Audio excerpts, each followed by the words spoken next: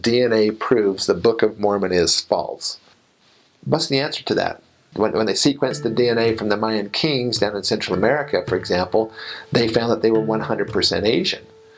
And of course, that doesn't bode well for the Book of Mormon because the Book of Mormon should, you know, the evidence for the Book of Mormon should indicate some sort of a Hebraic or a Hebrew people, not Asiatic people later.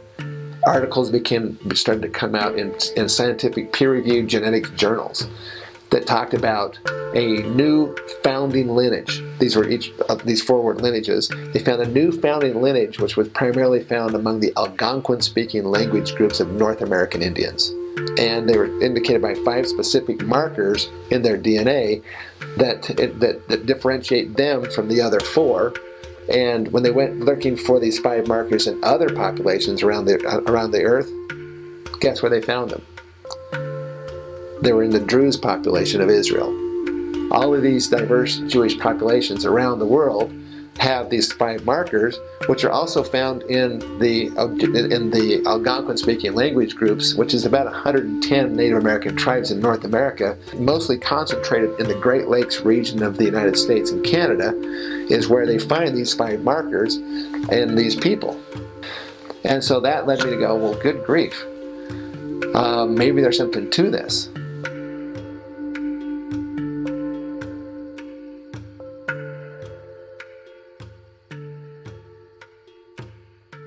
One of the most well-known apologetic videos dealing with the Lamanite DNA problem is the YouTube video DNA vs. Book of Mormon Incredible New Evidence.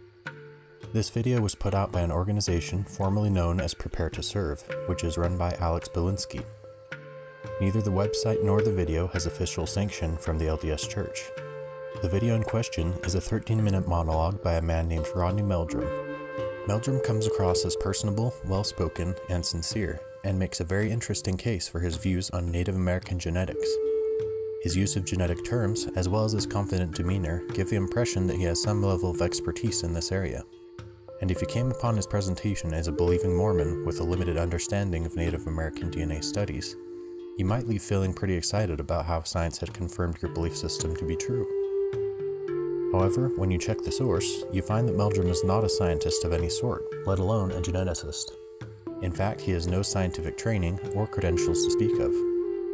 His education consists of one year of business administration and marketing classes at USU. He considers himself a researcher, author, and lecturer. When he speaks on the topic of DNA, he speaks as a layman and without any academic authority. Of course, that doesn't automatically discredit his conclusions about Native American genetics. Many presenters are not themselves experts on the information they present. Their credibility is earned by consistently using valid sources and by presenting the information without spin. Whenever presenters intentionally leave out key information that conflicts with their agenda, their agenda is revealed and they lose credibility. Meldrum openly admits to having a set conclusion regarding the LDS Church and the Book of Mormon, revealing the underlying personal bias in his research and presentations. I know that the Book of Mormon is true, so therefore, I know that there's going to be answers for it. Now, sometimes the Lord may have us wait, you know, it may be actually beyond our lifetime, but there's going to be an answer for this. In science, the ultimate goal is to arrive at truth by eliminating personal bias. When Meldrum admits at the onset of the video that his ultimate goal is to bolster the Book of Mormon, he reveals his bias, and his research becomes suspect. It will become clear why this bias is so damaging to his limited credibility when we address some of his incorrect conclusions. Meldrum attempts to make a connection between the Hopewell Indians in North America and the Druze population in the Middle East using the genetic marker haplogroup X. Essentially, his argument is that both populations have high levels of the X haplogroup in their DNA, and he therefore concludes that Lehi was the vehicle for the arrival of haplogroup X in North America.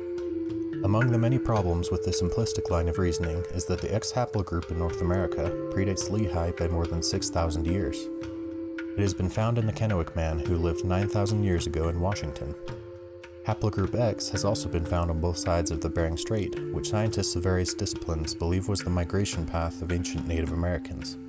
Even if Lehi carried the X haplogroup, he was not the origin for it in the Americas. Its presence in the Americas is therefore irrelevant to the Book of Mormon genetics debate. Additionally, the X haplogroup subclades carried by the two groups are only very distantly related. The limited number of Native Americans who carry the X haplogroup belong to the X2A subclade, while the Druze carry X2, X2B, X2E, and X2F. X2A is nowhere to be found in the Middle East, and the other X subclades were not present in the Americas until post-Columbian admixture. These subclades diverged roughly 30,000 years ago, so that is how far back you would have to trace their family tree to find common ancestry for both groups. Lehi misses that mark by over 27,000 years. If Lehi had come from the Middle East as recently as the Book of Mormon suggests, then the only subclades of the X haplogroup he could have been carrying were X2, X2b, X2e, and X2f. The presence of X2a in North America is therefore irrelevant to demonstrating recent migration from the Middle East, and instead supports a much more ancient migration across the Bering Strait.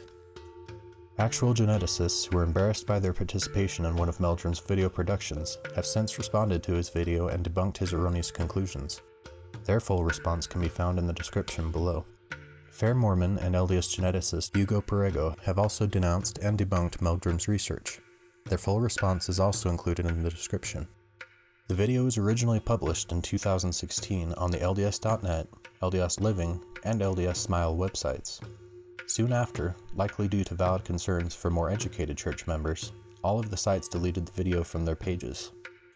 It now resides only on the Life Missions YouTube channel, where it continues to be found by gullible members and shared without fact checking.